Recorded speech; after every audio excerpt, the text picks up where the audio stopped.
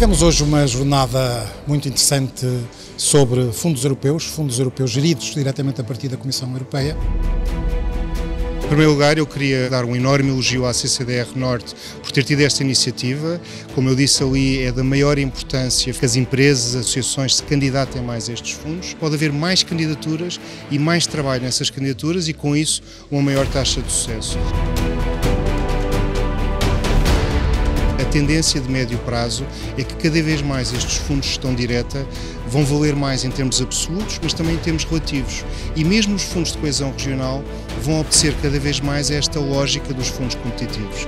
E por isso é muito importante para as empresas portuguesas estarem à frente da curva e começarem desde a primeira hora a habituarem-se a trabalhar com estes fundos e que são oportunidades para a região, são oportunidades para o país, mas que certamente a região norte, as suas instituições, as suas empresas irão aproveitar, porque quer os orçamentos que estão em causa, quer sobretudo as parcerias que podem ser construídas a partir destes projetos, são oportunidades que não devemos perder.